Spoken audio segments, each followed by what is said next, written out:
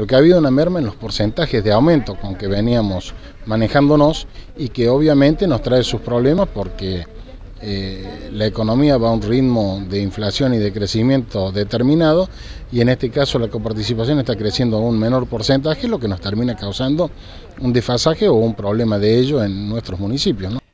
La disminución en la coparticipación desde la provincia hacia las localidades cordobesas está impactando fuertemente en cada rincón de Córdoba. Es un paso atrás porque te priva de algunas cosas que tenías planeadas, pero bueno, es un año difícil y creo que entre todos tenemos que, sumar esfuerzos para que esto salga adelante. Eh, nosotros ahí estamos terminando la realización de un geriátrico que, bueno, lo estamos haciendo más lentamente, obviamente. Eh, ahí llega menos plata, y se hace todo más tranquilo. La mayoría ya se encuentra en proceso de reasignar partidas presupuestarias a efectos de sufrir el menor impacto posible en sus finanzas.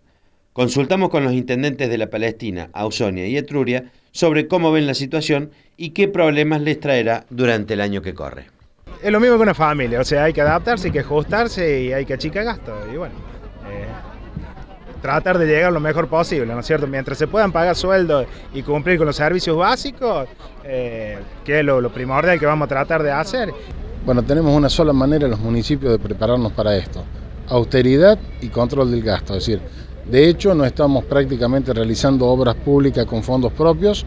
Nosotros tenemos iniciado eh, una obra muy importante en el Cine Teatro Municipal, que ya habíamos hecho unas, unas inversiones que están siendo instaladas en estos días, pero hemos parado de acá hacia adelante hasta ver cómo se clarifica el panorama para no, entrar en, torpezas que, nos, que después nos causen inconvenientes en la gestión diaria. ¿no? Ajustando al máximo los gastos, ¿no es cierto?, que, uno tenía calculado hacer, limitarlos un poco más al, servicio de salud, de limpieza del pueblo, para que el vecino esté bien atendido sin eh, eh, meternos en gastos mm, grandes a los que estábamos más acostumbrados en, periodos anteriores, ¿no es cierto? Pero bueno, yo creo que es un paso eh, medio complicado que tenemos que dar, pero se va, se va a llevar adelante, se va a afrontar.